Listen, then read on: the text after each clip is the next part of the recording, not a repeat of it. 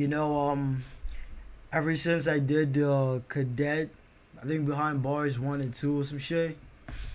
I knew this motherfucker was nice with that storytelling shit. You know, I knew he was nice with it.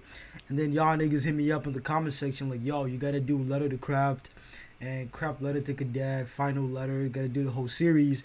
So I was like, all right, fuck it. Say less. I'm gonna get onto it. So here it is, cadet, letter to Krept, R.I.P. cadet, R.I.P. a real one. Live forever, live free. Let's go, my nigga. Let's see what he talking about. Ajax. What up, what up, what up? I bet we still good. Ajax. Oh, let's go.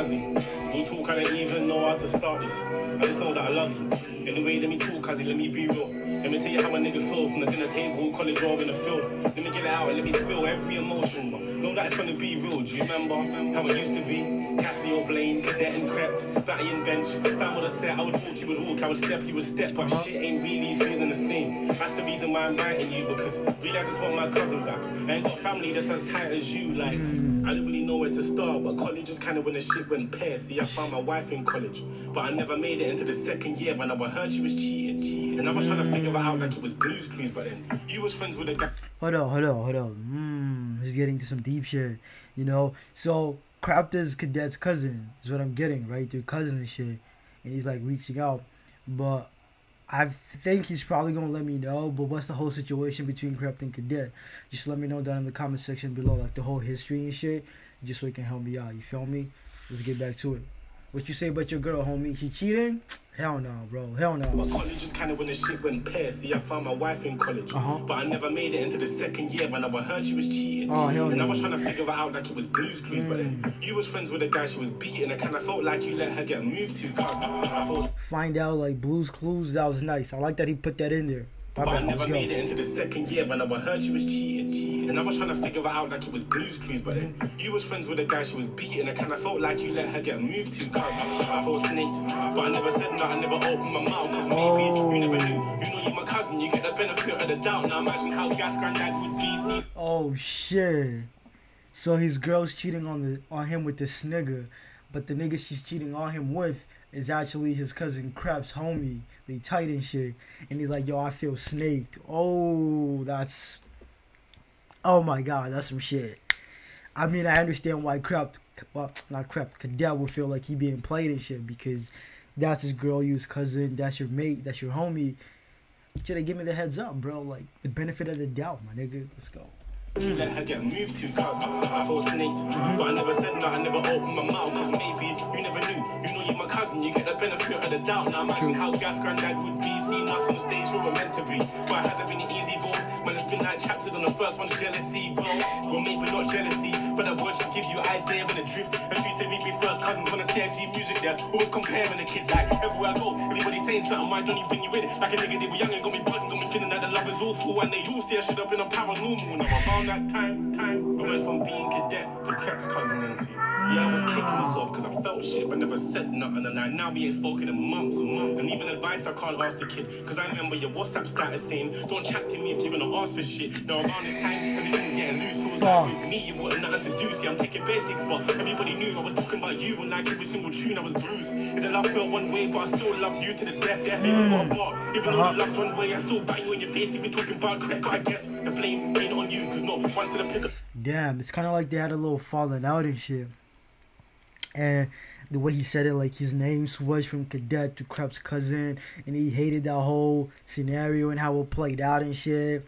But it's like, yo, I still held it down for you, bro. Like even when your name was brought up, I was ready to bang on whoever for talking sweet about you, bro. Like I still fuck with you heavy. That's crazy. That's deep. But it's a lot of like confliction in between there. You can tell, like it's it's crazy when it's family it's crazy when it's somebody who's really close, especially family. You hate the nigga, but you still gotta show love and shit. It's it's it's a complicated situation, but drugs one way, I still bang you in your face if you're talking about Krept. But I guess the blame ain't on you, cause not once did I pick up the phone and phone you. I'm happy that you're doing your thing, but it's a reminder of all the shit I don't do. So when your videos were hitting a mill, I was still taking bets up in William Hill. Now the jealousy's gone cause it's done to fill. And the second chapter is where the hunger spills. See, the second chapter is called Hunger. Hunger. And this is when the shit gets peak, cause it's, it's when I stopped watching you and I, and I started watching me, but I'm still getting in with like Uh-huh, uh-huh. Rivaldo. Parked up listening to Argy Fargo. And the one time you brought me to wireless was exactly the kick Needed in the arsehole. Cause you chose me right over the man, them like, even though we ain't spoken long to him. Well, last year after you sent the invite, thought you was gonna say my bad one combo. Then you Ah. was on stage, stage. It was me, you, and Killer Konan. I was the last one to come off stage, bro. Cause up there, man, I felt like home. And I swear since that moment, moment, I took shit serious. So I'm sure That's deep. I was the last one to come off stage because when I was up there, it felt more at home. That's crazy. That's crazy. That's deep, though. That's deep. Damn, man, I felt like home, and I swear since that moment, moment, I took shit serious. So I'm showing food, quit the news, quit the food. A man them thought I was delirious. You see, I would go car park, bike bars, leave the engine on, and then somehow fall asleep. Wake up with a dead battery, get jump started, and then the same night go repeat. The Ah. point now that I ain't even got a car, cause both the battery and the engine's gone. But at least now I'm chasing my dream. I ain't felt like a waste man in long, and the third chapter's called love. Love ain't no soft shit, ain't no need for boo-hoos. Uh-huh, uh-huh, when I uh-huh. started loving myself, then I could love you like I used to. Got tired. I've been a waste man rapper in the fuck cover. When I started loving myself like I loved you. When I started loving myself more, it helped me love you like I you. Crazy. That's deep. That's deep. Where I put a grin, and man, I got tired. I got into music events. They don't recognize me for a thing. Man, I got tired. Uh huh. I got tired of feeling like I ain't gonna win. And yo, I got tired. Tired of telling the niggas that I don't know why you don't wanna bring a nigga in. See, Uh huh. I'm just glad that I'm in the same race as you. And the dream is to go and share first place with you. You know, man. Yo, did Krept kind of like cock block him and some shit from like coming into the rap game and shit? Like, did he not help him come up and shit? Like, I know that's the vibe I'm getting, you know? Like, he really had to push to get to where he's at, but Krept could have given him like a extension of a hand, like, yo, I got you and helped him out, but he did it. I don't know, man. Like, let me know. You, You're my left lung and there ain't no replacing you. And P.S. I'll still bang everybody in the face for you, man. I love you. You must know that's deep. That's deep.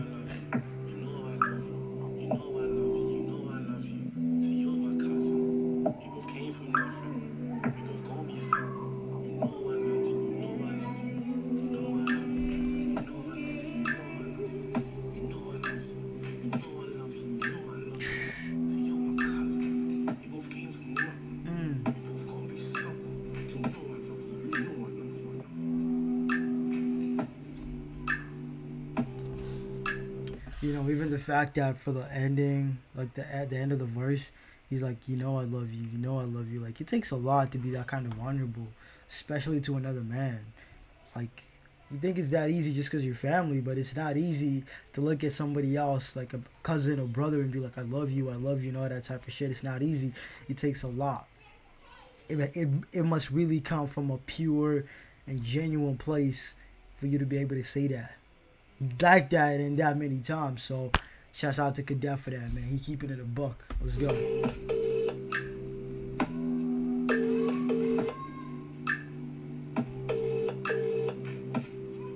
Yo, cousin.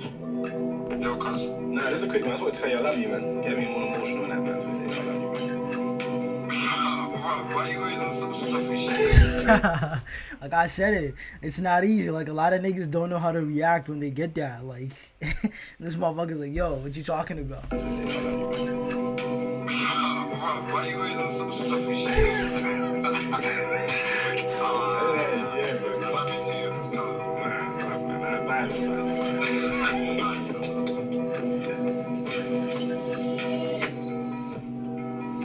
that them? That's lit. That's lit.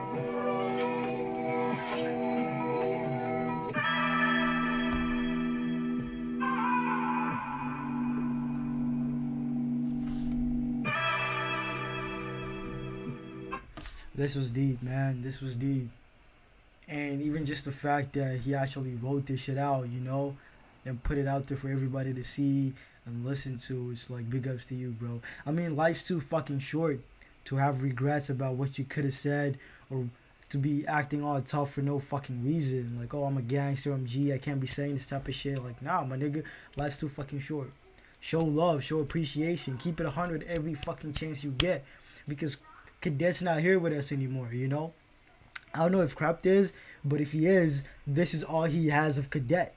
You know, that's all he has. And I, if I was Krept, my nigga, I'd probably be bumping this shit every every chance I get. Because it's like, yo, this motherfucker was showing me hella love, but he's gone now, and this is all I have of him. You know, the memories and the music and shit. So, you know, you treasure that shit.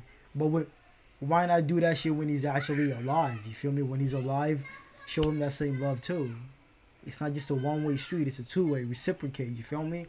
But Cadet, Letter to Krept, I fuck with it. I feel it. Uh, I know Krept's got a reply, so I'm gonna get straight to that. Let me know what you guys think. Don't forget to like, comment, subscribe, all that good shit. I'm gonna catch y'all on the next one. You feel me?